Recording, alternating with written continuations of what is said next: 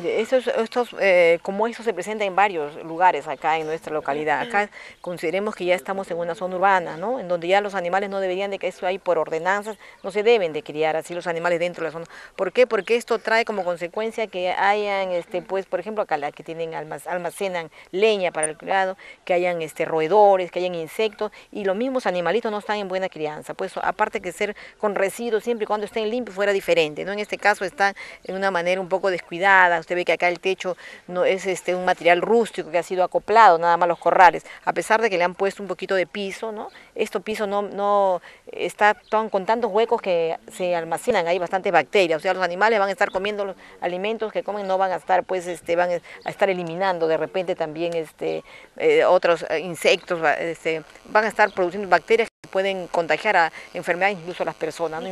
¿Qué, enfermedades se puede, Claro, sobre todo más la parasitaria, ¿no? porque acá no, la señora no nos da razón, pero de hecho no tiene un control parasitario, que es lo que nos puede transmitir las tenias, parásitos. ¿no? Y no solamente a estas familias, sino también a los vecinos. Pues, claro, los vecinos porque de repente se seca esto, cuando es verano el polvo va llevando los parásitos, o los mismos perritos lo, lo transmiten, los vuelos van pasando también a las personas. ¿no? Eso es lo que debemos tener. Después una de las enfermedades que es, afecta a las, no solo a la salud pública, sino a lo que es la economía, es la fibra, la, este, el cólera porcino. No sé si tenga la señora esa vacuna, ¿no? Porque esa cólera, si le da este, puede estar en peligro, pues otros, otras crianzas de, ganado y puede haber, pues afecta la economía ya de las personas.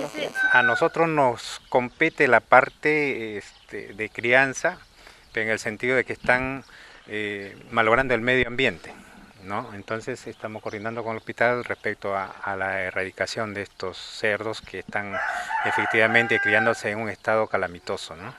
Bien, ahora ¿cómo aplica la ley? ¿Cómo aplica la ley aquí en este caso?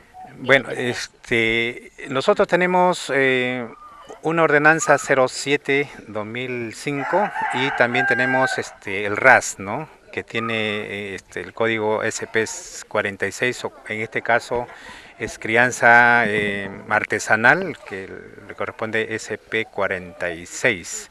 Entonces, en función a, esas, eh, esos eh, códigos, nosotros debemos actuar. por ejemplo, qué es lo que prohíbe en este caso? por crianza de cerdos en zona urbana, ¿no?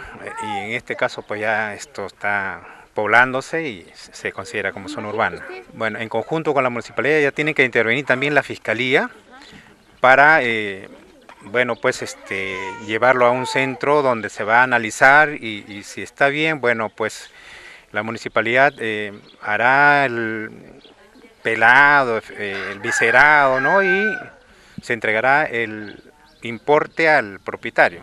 De no ser así o de estar enfermo, se incinera, ¿no? Estos animales.